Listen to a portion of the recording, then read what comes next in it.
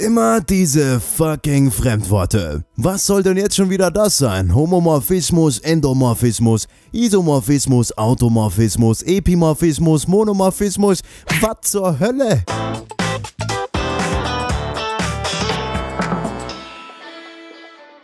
Keine Panik, viele Buchstaben für fast nix. Starten wir mal mit Numero uno, dem Homomorphismus. Das ist ein Wort, das andauernd vorkommt.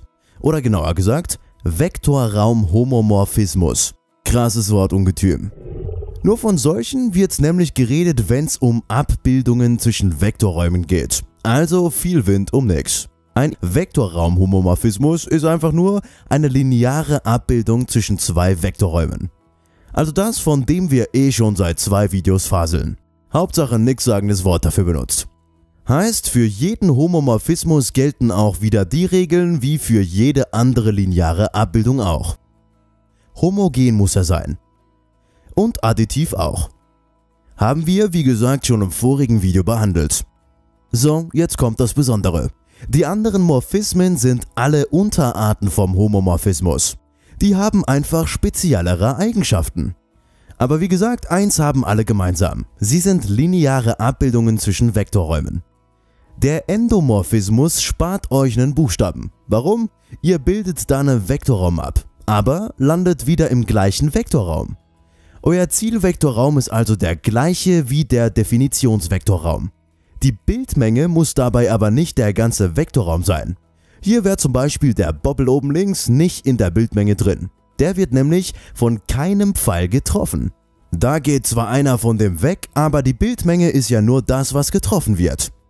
So ein Endo-Dingens sind zum Beispiel lineare Funktionen von den reellen Zahlen auf die reellen Zahlen. Da ist die Definitionsmenge die reellen Zahlen und die Zielmenge halt auch.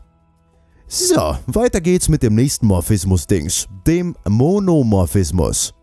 Der Begriff wird benutzt, wenn eure Abbildung injektiv ist. Jedes Element aus der Definitionsmenge hat also einen Funktionswert ganz für sich alleine. Zu jedem Bildvektor gibt es also nur einen Vektor in der Definitionsmenge. Jedes Element rechts darf nur einmal getroffen werden. Was injektiv und der ganze Kokolores nochmal war, verlinken wir euch auch nochmal am Ende. Epimorphismus heißt dann, wenn die Abbildung surjektiv ist. Heißt jetzt, dass die Bildmenge die komplette Zielmenge ist. Dass also jedes Element in der Zielmenge auch wirklich mindestens einmal getroffen wird. Wenn eine Abbildung surjektiv und enjektiv ist, nennt man das Ganze ja bijektiv. Ihr könnt's euch denken, das hat auch wieder einen eigenen Namen, nämlich Isomorphismus. Hier ist die lineare Abbildung also bijektiv.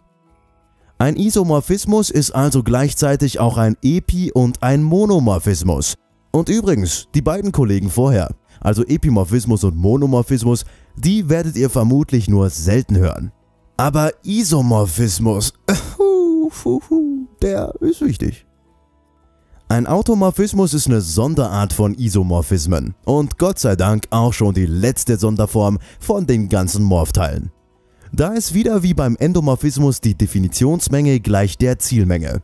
Ist halt diesmal im Gegensatz zum Endomorphismus aber auch noch sicher bijektiv. Der Automorphismus ist also ein Spezialfall von Endomorphismus und Isomorphismus zusammen. Und auch das speziellste Morphdings, was es gibt.